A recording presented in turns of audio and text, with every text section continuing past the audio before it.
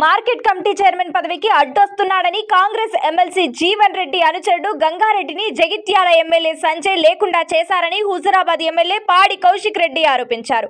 Market committee chairman పదవి కోసం నారాయణ రెడ్డి పేరును ఎమ్మెల్యే సంజయ్ కుమార్ ప్రపోజ్ చేశాడని జీవన్ రెడ్డి ఏమో గంగారెడ్డి పేరును పంపించారని తెలిపారు. దీంతో గంగారెడ్డిని లేకుండా చేస్తే మార్కెట్ కమిటీ చైర్మన్ పదవికి ఎవరూ అడ్డు ఉండరని భావించి అతన్ని జగిత్యాల ఎమ్మెల్యే లేకుండా చేశారని అన్నారు. గంగారెడ్డిని జగిత్యాల ఎమ్మెల్యే సంజయ్ కుమార్ హత్య చేయించాడని కాంగ్రెస్ ఎమ్మెల్సీ జీవన్ రెడ్డి చెప్తున్నారని పాడి కౌశిక్ రెడ్డి అన్నారు. స్వయంగా ఎమ్మెల్సీ చెప్తున్నప్పటికీ పోలీసులు ఎందుకు కేసు నమోదు చేయడం లేదని ఆయన ప్రశ్నించారు.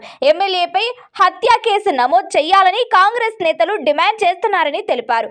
కాంగ్రెస్ ప్రభుత్వం హత్య రాజకీయాలను ప్రోత్సహిస్తుందని అన్నారు. బీఆర్ఎస్ పేరుతో గెలిచి కాంగ్రెస్ కండువా కప్పుకున్న వారికి సిగ్గనిపించడం లేదా అని మండిపడ్డారు. కాంగ్రెస్ పార్టీలో చేరిన వారు దమ్ముంటే రాజీనామా చేసి ఎన్నికలకు రావాలని పాడి కౌశిక్ రెడ్డి సవాల్ విసిరారు.